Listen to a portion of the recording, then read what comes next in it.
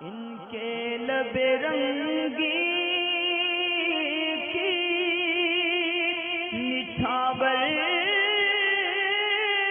تھی کہ جس نے یہ مرضیہ خان مرضیہ خان کر کے ہیں۔ ایک آئی ڈی یہ سوال یہ کرنا چاہتی ہیں کہ اگر کسی نے کسی کا قرض لیا اور لینے کے بعد وہ بھول گیا، مثلا ہم نے کسی کا قرض لیا اور اگر ہم بھول جائیں تو ایسے صورت میں کیا حکم ہوگا؟ لیکن سب سے پہلے تو یہ کہ صورت حال اگر آپ کے ساتھ پیش ہے کہ آپ نے کسی کا قرض لیا اور آپ اس کو دینا بھول گئیں، اور یہی آپ سوال کرنا چاہتی ہیں کہ میں نے قرض لیا، دینا بھول گئی تو ظاہر ہے کہ جب آپ نے سوال کیا تو اس وقت آپ کو قرض یاد آ گیا۔ یاد آنے کی صورت ہی میں آپ نے سوال کیا۔ تو جب قرض یاد آ جائے، فوراً اس کو جبھی دے دینا چاہیے۔ اور اس میں دو صورتیں ہوتی ہیں۔ ایک یہ ہوتی ہے کہ ایک شخص نے قرض لیا اور اس کا ارادہ دینے کا نہیں ہے۔ یعنی وہ چاہتا نہیں کہ اس کو دے یا اس نے لیا ہی اس لیے کہ اس نے سوچ رکھا ہے کہ بعد میں اس کو دینا نہیں ہے۔ تو ظاہر سی بات ہے کہ قیامت کے اندر اس کا حساب اس کو جو ہے وہ دینا ہوگا۔ یا تو اللہ تعالیٰ اس شخص کی نیکیاں اس کو دے گا۔ اگر اس نے قرض نہیں دیا یا پھر اس کے گناہ اس کے سر پہ ڈالے جائیں گے۔ اگر حساب برابر نہیں ہوتا تو اس طرح یہ مرے گا تو گناہ گار بھی مرے گا کہ قرض خواہ رہے گا۔ اور اگر اس میں دوسری صورت ایسی ہے کہ کسی نے کسی کا قرض لیا اور دینے کا پورا ارادہ ہے۔ دینے کی نیت بھی ہے، لیکن دینے سے پہلے وہ شخص انتقال کر گیا۔ تو اللہ تبارک و تعالیٰ سے امید ہے کہ بروز قیامت اللہ تبارک و تعالیٰ ان کے اندر صلح کرائے گا یعنی اس کے ساتھ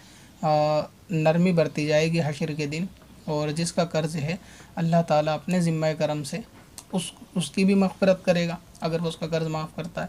جبکہ اس کے دل میں دینے کی نیت ہو۔ تو اگر کسی نے کسی کا قرض لے رکھا ہے اور اس کی نیت پوری ہے کہ مجھے اس کو دینا ہی ہے، لیکن اتفاق سے اس کا انتقال ہو جائے اور انتقال کے بعد کسی کو معلوم بھی نہ ہو اس قرض کے بارے میں، اور تو ان شاء اللہ تعالیٰ اس پہ اس طریقے کا کوئی گناہ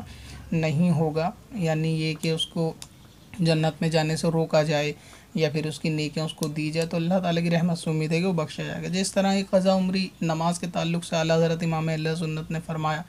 کہ اگر کسی شخص نے قضا عمری کی پکی نیت کر لی کہ مجھے مکمل کرنی ہی ہے اور اس نے توبہ بھی کر لی اور قضا نمازیں اس کے ذمے بہت ہیں اور وہ اس کوشش میں لگا ہوا ہے کہ جلد سے جلد اس قضا کو پورا کرے اور اپنی ذمہ داری یعنی گھر گرہستی کے جو کام ہے اس کو پورا کرنے کے بعد باقی ٹائم میں وہ قضا عمری اپنے وقت میں مقرر کرتا ہے اور اس نے پکا ارادہ اور نیت ہے کہ اس کو یہ پوری کر ہی لینی ہے۔ لیکن وہ پوری کرنے سے پہلے ہی کچھ پڑھتا ہے یا ارادہ کرتا ہے اور وہ فوت ہو جاتا ہے۔ تو اللہ تعالیٰ کی رحمت سے امید ہے کہ اس سے اس کا یعنی گناہ اور عذاب کی اس سے جو ہے نا نرمی برتی جائے گی حشر کے دن۔ تو ایسے ہی اگر کسی شخص نے قرض لیا، جیسے چھوٹے موٹے قرض ہوتے ہیں، آدمی کسی کے پاس سے پیسہ لے کر آیا، مثلا یہ کسی سے سو روپے ادھار لیے اور رستے میں آتے وقت انتقال کر گیا، اب کسی کو یہ چیز معلوم ہی نہیں چلے گی کہ اس کے پاس یہ سو روپے جیب میں جو تھے وہ قرض کے تھے یا اس کے اپنے تھے۔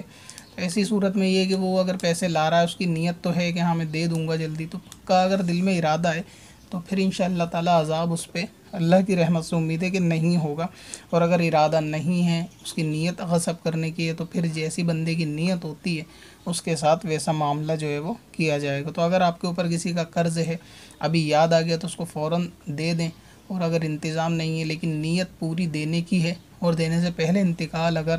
ہو جاتا ہے تو ان شاء اللہ تعالیٰ اللہ تعالیٰ اس پہ رحم کرے گا یعنی قرض دار پہ بھی اور جس سے قرض لیا ہے اس پر بھی۔ پتھر میں اصل لالے۔ پرن